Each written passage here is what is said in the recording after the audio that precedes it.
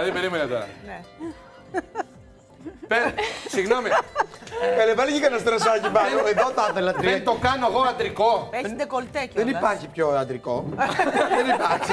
Αφού το σκέφτομαι καμιά φορά. Δεν το κάνω εγώ αντρικό. Πολύ ωραίο. Ναι, για κάτω. Τι είναι εδώ, καλέ; Μάνα, Κυροτσούλα, πάρε τηλέφωνο με τον έχω χαλάσει. Συγγνώμη, Εγώ, εμένα δεν με είναι- έδωσε το καλοκαίρι minimal chic.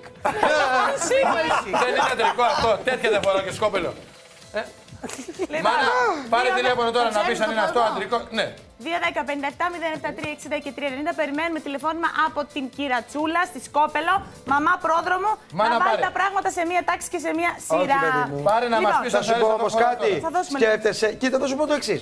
Ο πρόδρομος, Ναι. οκ, είναι brutal. Οκ, sorry. Γιατί είσαι μια αντίρρηση. Είσαι, Ε, είσαι. ναι, ε. Και όταν φοράει και λίγο χρυσή με μία χρυσή λεπτομέρεια. Το ισορροπεί Το λίγο. ισορροπεί. Σκέψτε να το βάλω εγώ αυτό. Τι ισορροπία δεν θα υπάρξει ισορροπία. Ενώ ντύνουμε brutal με χρυσή λεπτομέρεια στο παπούτσι μόνο. λίγο, λίγο χρυσό Εγώ έτσι. λέω εκεί. να βάλουμε όλα τα αγοράκια εδώ πέρα να το δοκιμάσουν αυτό, να δούμε σε Θέλω ποιο να πηγαίνει μάθω καλύτερα. ποιος έκανε την παρατήρηση για αυτό που φοράω πάνω. Ε, δεν ξέρεις τώρα, καταλαβαίνεις. Τώρα. Θα σου δώσουμε λίγο χρόνο να τα ανακαλύψεις, θα τρέξεις πάνω στο Τίποτα. κοντρόλ. Τσατίστηκε, να κάνεις παιδιά. την- Ναι, ναι, ναι, ναι. Τσατίστηκε. Ποιος, Ποιος, ποιος το. ποιος, Ανεβαίνω. ποιος; Ο Μπέζας. Μπέζα, σου λέω, το λέω. Μην τα Οπότε, βάλεις με περίμενε, τον πρόδρομο, περίμενε, θα τα βάλεις και μαζί Η μου. σωστή απάντηση λοιπόν στην ερώτηση είναι ότι όχι, δεν βγαίνει παιδιά σε ιατρικό, θα βρεις μπέζα μου. Εντάξει.